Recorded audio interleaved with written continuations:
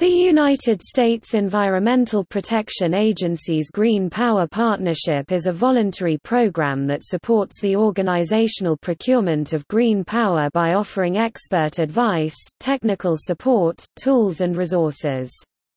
Green Power Partnership provides public health and environmental benefits by expanding U.S. renewable energy markets through the voluntary use of green power. The EPA defines green power as a subset of renewable energy and represents those renewable energy resources and technologies that provide the highest environmental benefit.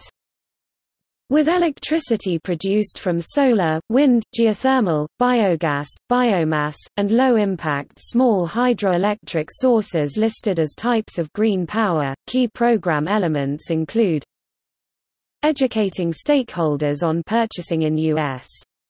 renewable energy markets Providing technical assistance and tools for procuring green power Motivating stakeholders to use green power Recognizing leadership in green power purchasing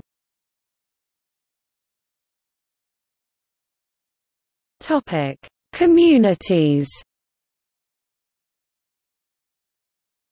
Green power communities are defined by the United States Environmental Protection Agency (EPA) as towns, villages, cities, counties, or tribal governments in which the local government, businesses, and residents collectively buy green power in amounts that meet or exceed EPA's green power community purchase requirements.